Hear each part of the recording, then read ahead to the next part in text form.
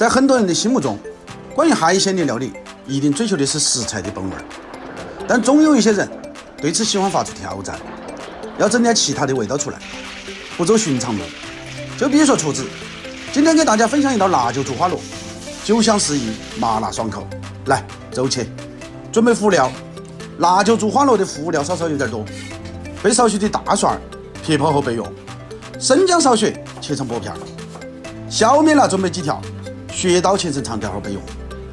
准备几颗八角、香叶、山奈、干海椒，淋上少许清水泡个几分钟。花雕酒是这道菜的必备调料，我用的是三年陈酿，你们也可以用八二年的。家里备有玫瑰露酒的，也可以倒点玫瑰露酒进来，增香。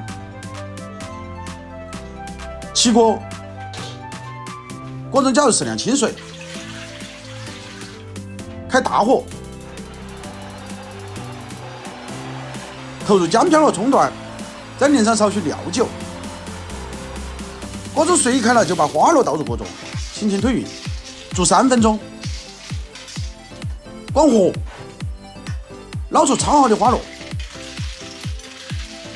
投入清水中，一方面可以吸取残留的浮沫，二是快速降温。挑出姜葱残渣。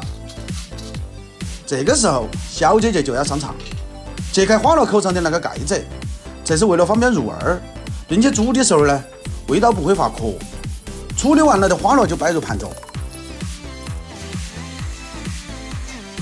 重新起锅，烧热了下油，滑锅，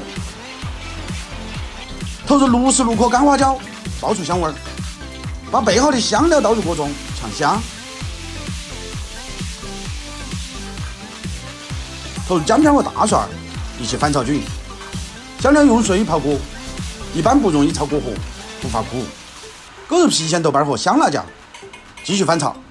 这一步多炒几下，尽量炒出各种辅料的香味儿。差不多了，就倒入备好的花螺，翻炒均匀，要让花螺均匀的裹上一层红油。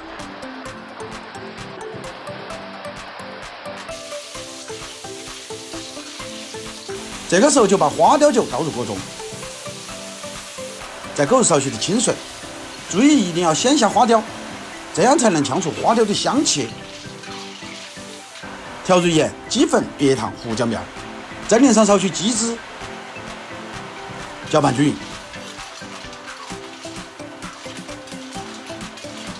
准备了金不换的可以用点金不换，没得的就像我一样用紫薯代替。主要是起一个增加风味的作用。撒上红小米辣，轻轻推匀，大火烧个五六分钟。起锅前，勾入少许的冬菇一品鲜，翻炒均匀。为了让菜品的卖相好看一点，把锅中的香料残渣挑拣出来，就可以装盘了。最后只需要稍稍点缀一下，美味即成。可能很多人都不晓得。辣酒煮花螺其实是广东人研究出来的，在经过川厨的优化魔改，使之受众越来越广。这就像人生中的轨迹，常常因为一些小事件而改变，无心插柳。这或许就是生活的趣味。活在当下，未知的明天才值得期待。我是厨子，下期见。